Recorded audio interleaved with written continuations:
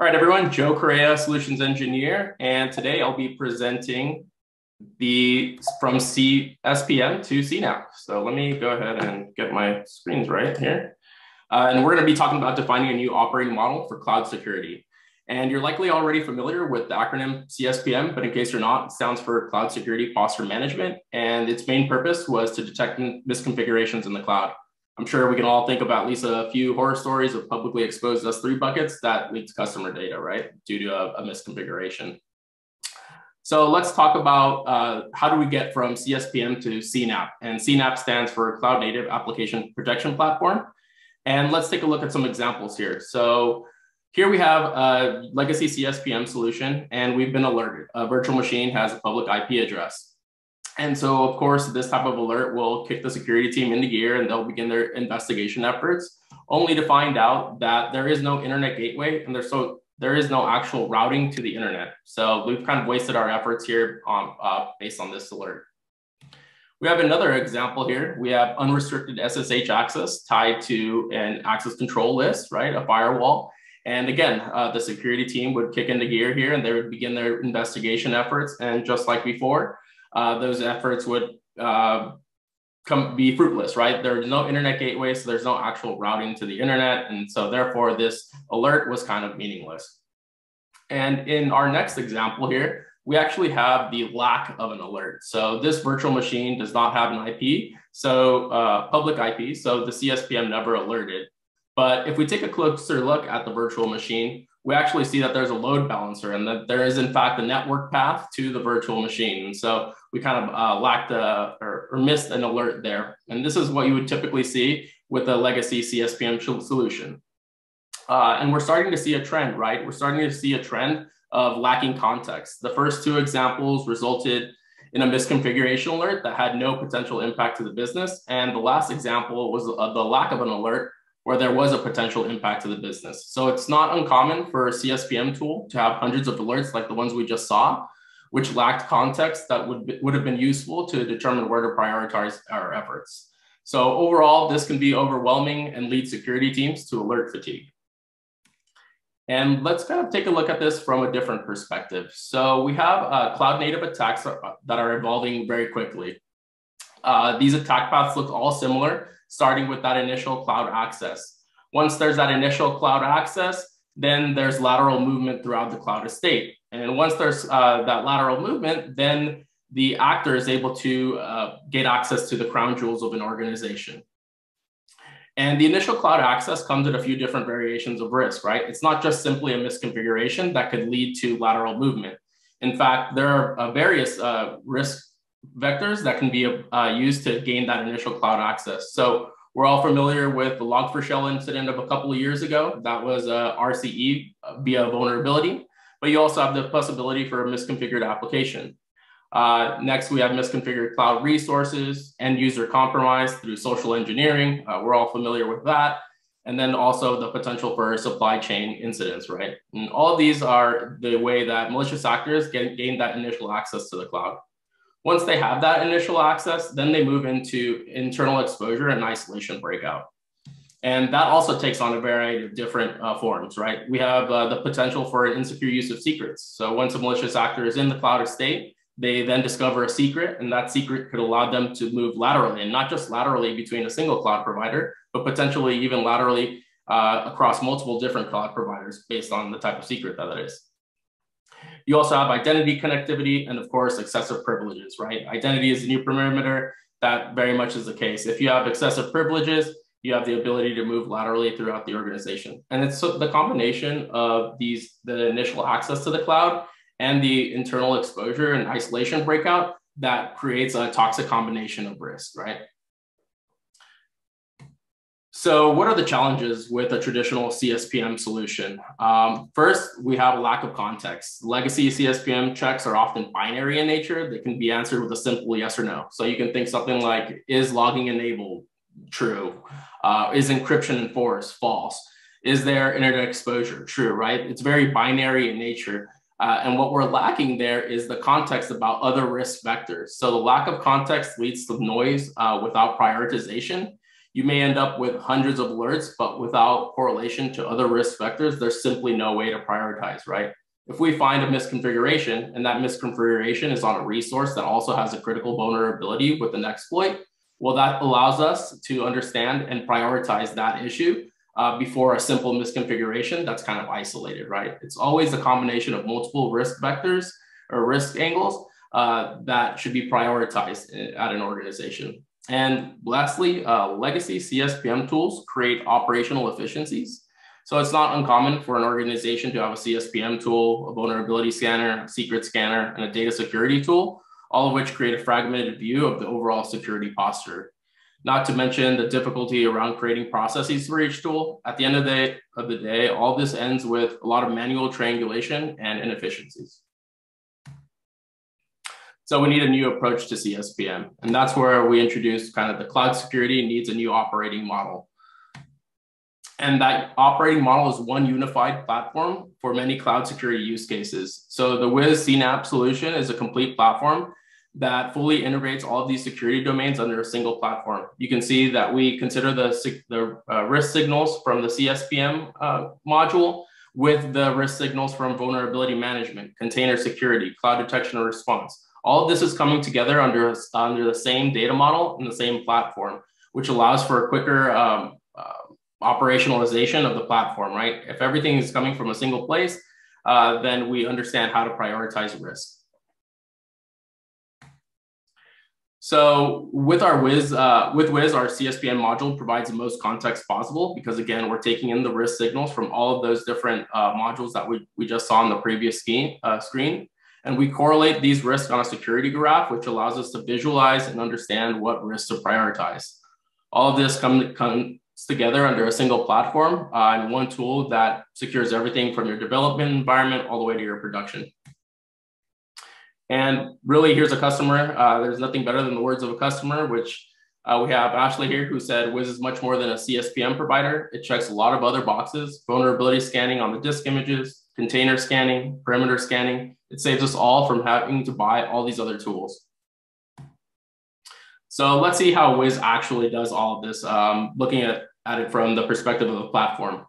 So everything begins with a completely agentless scan of your cloud configuration as well as your workloads. Uh, so that agentless scan will allow us to gain a full inventory of all the different resources that are uh, that exist across your cloud estate.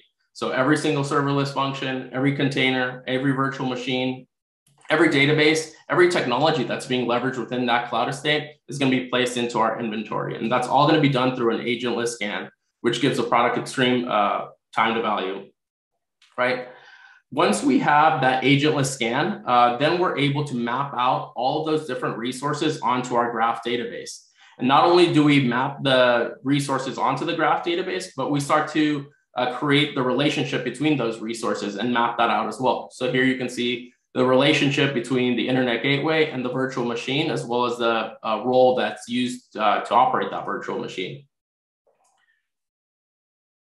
Once we have that full inventory of uh, and full mapping of the relationship between the different resources, that's when we go ahead and layer on our own uh, risk scans, right? And the risk scans will identify risks across misconfigurations, vulnerabilities, malware, sensitive data, external exposure, all the items that you see list, uh, listed on the left. And we can see that here on, on the screen, right? Once we had the full inventory of all the different resources running in the cloud, then we laid on the security scan and that discovered a misconfiguration tied to a security group. We have a critical vulnerability on a virtual machine We've also discovered an exposed secret as well as malware. And we also have an understanding that the role associated to the virtual machine has excessive permissions. So here, what we're able to see is a lot of context about each and every uh, risk signal, right? We understand that the, the critical vulnerability is tied to a virtual machine that is also has exposure on the internet. And then we know that the virtual machine is also tied to a role that has excessive access meaning that if the virtual machine was compromised, the actor could take advantage of the role and then move laterally through the environment because of their excessive access. Once we've uh, gone ahead and uh, identified all the different risks, the next piece is to help prioritize which risk is, is the most important to, uh, to prioritize, right? So here we've seen, uh, we've identified an attack path, and that attack path is showing that a malicious actor can go from the internet through the internet gateway and uh, different networking resources onto the virtual machine, gain access to the IAM role that has excessive access, and then uh, move laterally to the database that's storing that's storing PII information or the crown jewels of an organization. So now that we've identified the attack path, we know where to prioritize our efforts.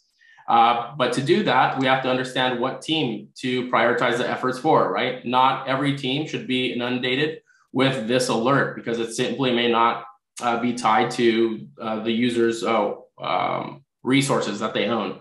So here we've identified that a team A is not the one responsible for this particular uh, this particular finding here. And so what we'll need to do is we'll need to prioritize this for team C, right? Team C should be the one that receives the alert about this uh, critical risk, right? And the critical risk, of course, is that attack path analysis.